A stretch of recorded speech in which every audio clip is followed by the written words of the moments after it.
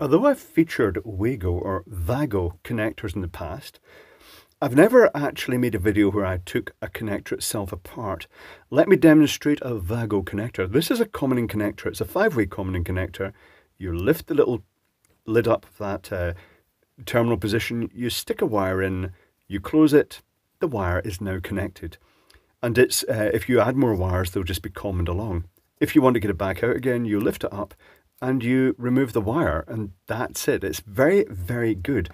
Um, I got some of the original Wago terminals, the real thing, and I got some of the clones, and I thought they were going to be identical. I just thought the clone was going to be a complete rip-off of the Wago, but the way it operates is completely different. I mean, it's the same principle of a spring. Oh, let me just cut to the chase and show you. Right, tell you what.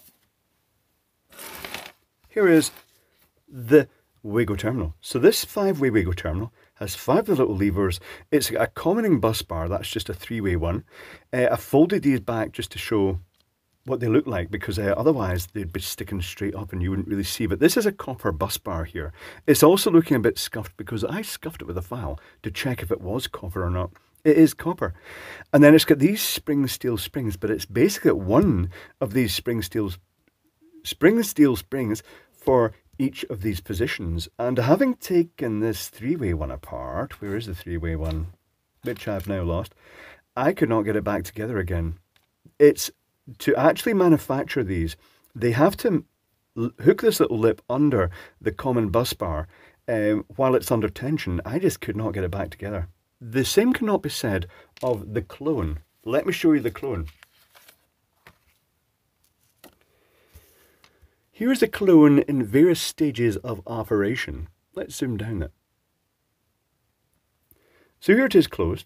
Here it is open, where the little uh, lever here just pushes that spring down. The wire is pushed in, it's released, and it clamps up. Here's the little lever with a gap underneath it to allow the cable to go through. There is the, well, that's actually two contacts. This is a two-way strip. Uh, and they're both connected together. This is the main difference, well, between the clone and the original Wago terminal. There's a little bus bar. It's also copper. That It's all looking scuffed because, again, I took it apart. And that's what it looks like inside with the spring pushing up against the wire. Now let me show you a little graphical representation, which will make this easier. And then I'll show you how easy it is to put the clone back together again. Unlike the original Wago, the clone is a nice design, I have to say. So here is the clone. It has a little copper plate here, and the spring is actually hooked underneath at this end where it comes down. Let me see if I can find that one. Here it is. Here's the little plate. It's very, very tiny. I've just dropped it. It's very tiny. Um, and when you actually pull the lever over, it actually impinges down and it actually pushes the spring down. You put the wire in, and then when you release it, it pushes up against this copper plate. It pushes it up roughly central, but it also bites into the copper a little bit so that if you try and pull the wire out, it's going to sort of bite into it and it's going to act as a bit of strain relief to a degree, but it's not designed to be strain relief. It is purely just to grip it and stop it popping out accidentally. The copper plate, and this is where it gets a bit tricky because it's 4 millimeter wide uh, and about 0.5 millimeter thick. Uh, but because the complex shape of this, you could also count this as part of the bus bar down here because it does join. So effectively, it's a little bit more than 4 millimeter wide. And this is important because the Wago uh, original was 5 millimeter. But this is most of the way there, but not quite as generously rated as the Vago. Let's take a look at the uh, original. So keep in mind 0.35 millimeter spring steel and half millimeter thick copper. Strangely enough, the Wago is also 0.35 millimeter spring steel and also 0.5 millimeter thick copper, but it's got this big bus bar. But instead of being at the top and actually pulling the uh, wire to the top of the connector, so in the case of these ones, uh, it actually physically clamps up to the top. With the original Wago, it clamps it down to the bottom of the connector, so they're very different in that sense, even though the technology is roughly the same. In this case, when you hinge the lever up, uh, there's a sort of like a rotating I guess pivot pin, but it basically it's just held in place by the spring. It's not it's not like an actual pivot with sort of pins through it or anything like that. It's just basically well there it is. It's a a little curved bit that just rides up and down on the plastic. And it's got a cantilever inside that, as well as letting the wire through, it cantilevers up against the spring and it pushes it up when you lever it up to actually let you put the wire in. And when you put it back, it just clamps down again. Um, and that is more or less it. I think the clone has been engineered to be cheaper and easier to make. Certainly, if I get the bits of the clone, let's get some bits of the clone here. So there is the bus bar. I'll zoom down this. And I shall also focus up to about there. That's probably better. Let's see if I can do what I used to do and just go completely out of focus. So having faffed around for ages with the very frustrating Wago terminal, here is the equivalent with the clone.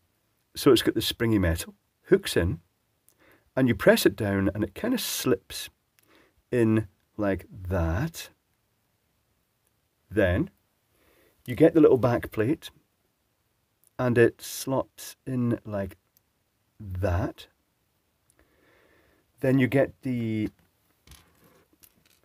housing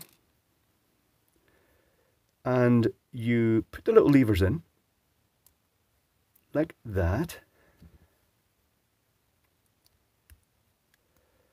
And this is where it's very, very different to the Wago. You then take this and then you just basically slide it on and click it together and that's it back together and 100% functional. The Wago, I just gave up trying to put it together. The clone is designed for just mass production with all those springy terminals all on the one housing and the way they clamp into the actual copper bus bar. It's very clever, I have to say. So they are both copper. This is good. Um, I was expecting, well, I, here's the problem. If I was doing commercial installation, I would only use Wago terminals because uh, I wouldn't use any of the clones because you just don't know what you're getting. But for personal projects, I would actually use the clones. But if I got a bag of these, one of the first things I'd do is open them up and I'd take the little bus bar out and I would uh, file it and just see if it was copper or not. As I did to this one, and it is copper, well, copper coloured. It looks like tin copper. But one day, it's inevitable, these are going to come out with steel bus bars or aluminium bus bars. They're going to skimp, they're going to cheap out, they're going to use some other metal. And uh, that is going to potentially mean that the cheapy connectors are going to burn up. Now, the reason there's a Marrette, a wire nut, a screw-it, loads of different terminology. Canada, Marrette, America, wire nut. Britain used to call these screw-its, and they used to be ceramic. We don't really use these in the UK. But the reason I get these in the a TerraBlock is that there are videos on the internet showing people wiring a continuous loop of wire that goes through a bit of TerraBlock and then through a wire nut and then through a Wago terminal. And then they keep increasing the current uh, to see at what, which one gives first. And uh, the one that gives first is the Wago. But I want to point out that uh, the current that they go up to before that literally blows like a fuse. This little plate in here, this five millimeter wide half millimeter plate blows like a fuse at over 100 amps. So that's, I think you've got a lot more to worry about if you're running over 100 amps through a wire like this in your house. If anything, the Wago actually blowing open circuit could save your house going on fire, but that's not any formal form protection. Other things, uh, they did pull tests on them. I think, uh, who did pull tests? I think it was uh, Great Scott did a pull test on to see about the strength of what it took to pull the wire out. But again, in most instances, you're just, you, you don't, all you want is to hold it snugly and you're not really expected to take a, a lot of strain. So I do like these terminals. Um, the first time I came across them was, was at Hussmann. Uh, I was installing a outdoor condenser for a supermarket. And uh, it was the terminals that you actually put a screwdriver and you lever it up and you poke the wire in. And it was the first time I'd come across them in the control panel and I was a bit concerned about the reliability. So next time I was in the workshop, I asked the maintenance department, I said, you know, have you had any problems with these Wago terminals? And they said, no, we've never ever had a problem with those terminals, which is good. Uh, fast forward, um, working at Disney, and uh, the electricians that were doing the sort of general public area lighting for the rides, uh, they were all using the push-in Wago terminals for all the wiring because they're they just really are popular in Europe.